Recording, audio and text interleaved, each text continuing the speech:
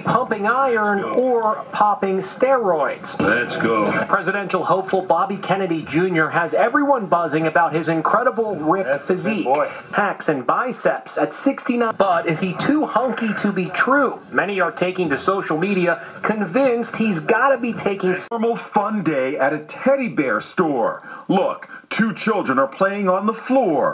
Suddenly, a masked man bursts in holding a gun. The terrified kids try to hide, but the gunman forces everyone to the side of the store in Mesa, Arizona. Have you ever seen such a thing? Youngsters with their hands up. It's like an old fashioned stick up. The brazen gunman tells the clerk to hand over the cash. Then, a customer enters the store, not realizing there's an armed robbery in progress.